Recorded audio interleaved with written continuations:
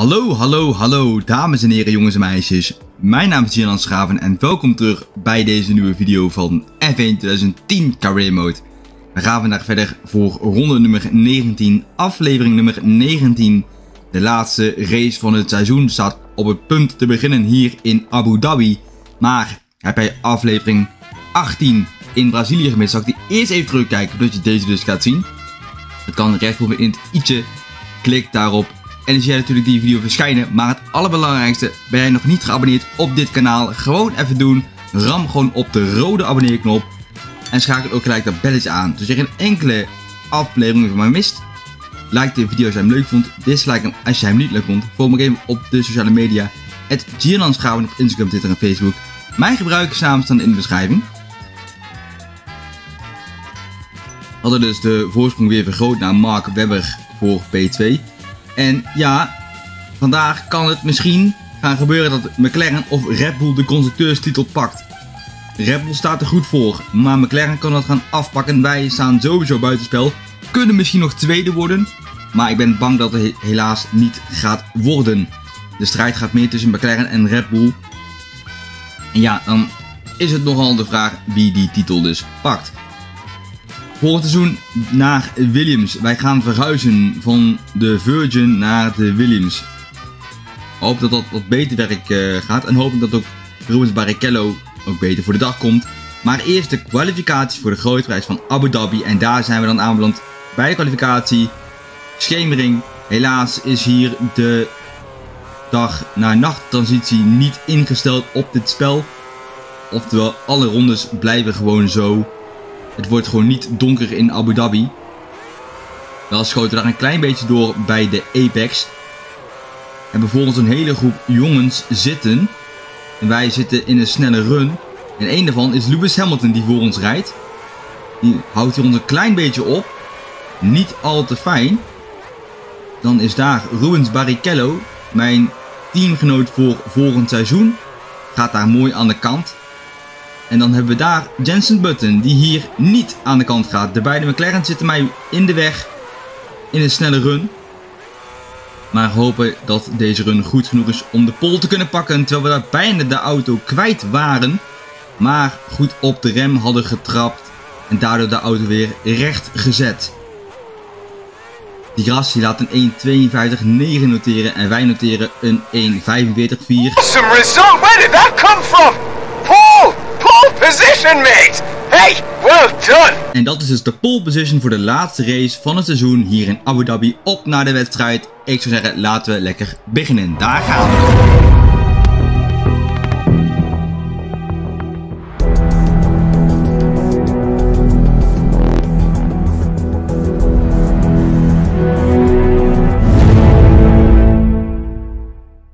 Dan zijn we aanbeland bij de pitbox starten op pole position in deze late wedstrijd in Yas Marina Abu Dhabi.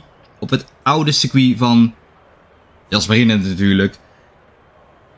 Geen kans op regen. Dus dat is goed om te zien. Normaal gesproken valt er ook weinig regen in Abu Dhabi. Maar goed, je weet het maar nooit. Starten dus op pole position en moeten 16e of hoger finishen voor onze laatste wedstrijd voor Virgin Racing eigenlijk Marussia Virgin Racing. 35 graden, warme temperatuur. We gaan even kijken naar de car setup of die nog moet worden aangepast. En is het op naar de race, op naar de grid, op naar de laatste race in seizoen 1 van F1 2010 Career Mode. Onze laatste race met het team. Laten we hopen dat we deze sterk kunnen afsluiten. Daar gaan we dan.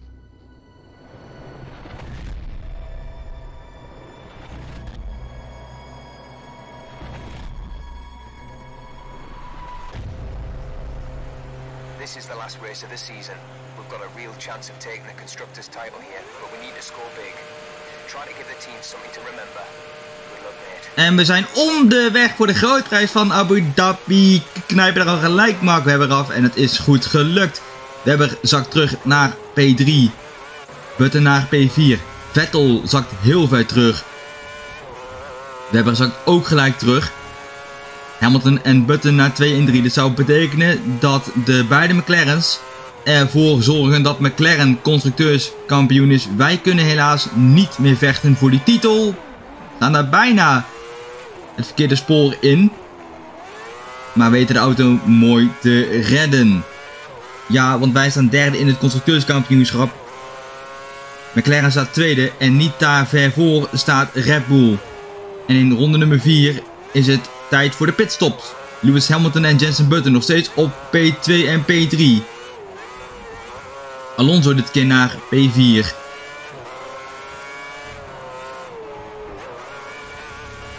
En wij duiken dus naar binnen voor onze laatste pitstop van de dag.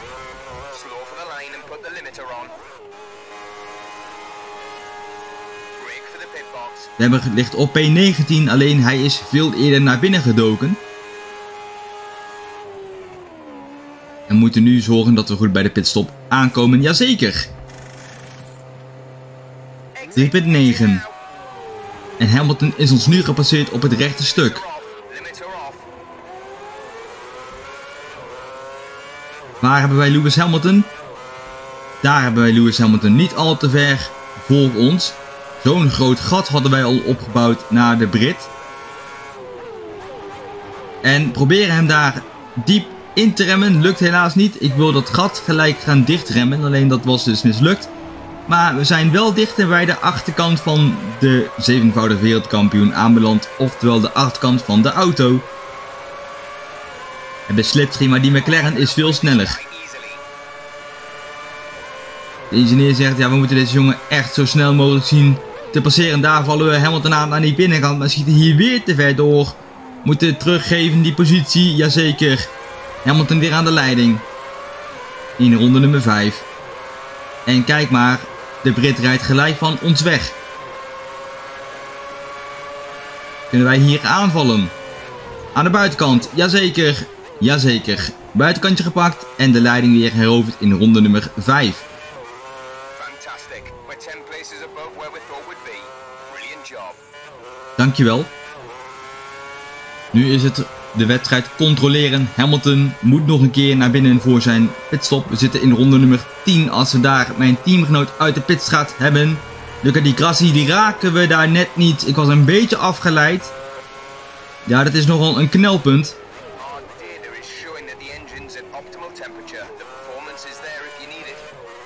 De motor is in optimale performance.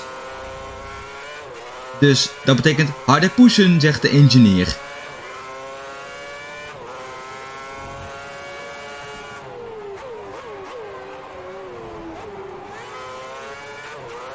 Steeds alles goed onder de controle. Ik heb wel een eh, lichte voorvleugelschade. Waarom? Ik ben er een keer vanaf gegaan. Alleen dat heb ik er niet ingezet. Ik vond dat de moeite er niet waard. Ingenieur zegt, ja, maak jezelf groot voor de achterblijven voor je. Alleen die Senna, ja, die gaat niet aan de kant. Ook op een heel punt dat hij daar gewoon heel irritant reed. En dan doen wij dit een beetje uit frustratie, een beetje karma. En Senna is zijn voorvleugel wat beschadigd geraakt. Net als die van ons. En we zitten trouwens in de laatste ronde van de wedstrijd. Gaan hier iets te veel over die curbs. En stuiteren als het ware weer terug het circuit op. Hamilton en Button gaan McLaren constructeurskampioen maken omdat Red Bull het slecht doet. Petrov op P4. Vettel en Webber zijn nergens te bekennen. Wij gaan hier weer een wedstrijd winnen in Abu Dhabi voor de laatste race hier in seizoen 1. Onze laatste wedstrijd voor Marussia Virgin Racing. En dat betekent dat wij dus kampioen zijn. En Red Bull vergooit zijn wereldtitel. McLaren pakt het in de laatste race af van Red Bull. En zij zijn constructeurskampioen in seizoen 1. En is het op naar de volgende race in seizoen 2.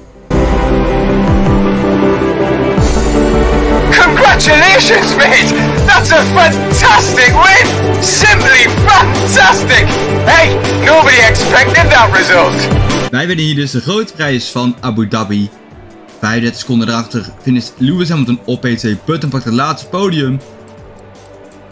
Schumacher, teleurstellend. Heel teleurstellend. Beide Red Bulls finishen op P6, sorry, op P7 en 8. Heel teleurstellend. Echt teleurstellend. Petrov naar P4, Alonso 5, Rosberg 6, De La Rosa 7, goed gedaan. En Hulkenberg met het laatste punt voor Williams. Die op een ronde gezet en niet naar de punten gegaan, helaas. 36, sorry, 35 seconden voorsprong op Hamilton. Goed gedaan. 40 seconden erachter is het Button. En boven de minuut zit Fernando Alonso. Boven de minuut gefinished.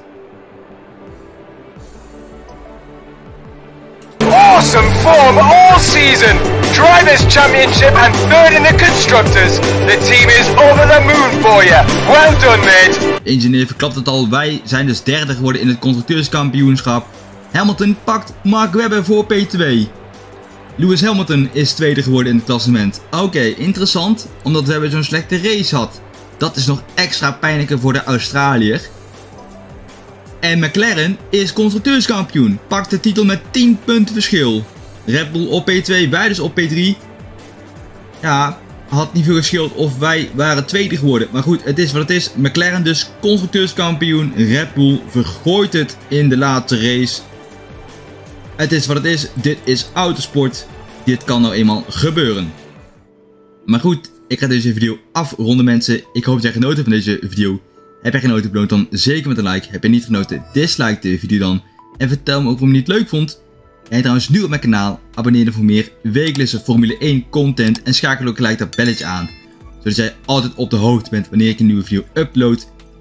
Volg me ook even op de sociale media, at op Instagram, Twitter en Facebook. Mijn gebruikersnaam staan in de beschrijving. Dit was het journal mensen. Tot de volgende keer bij een nieuwe video. Ga verder met meer Formule 1 content. Tot de volgende keer.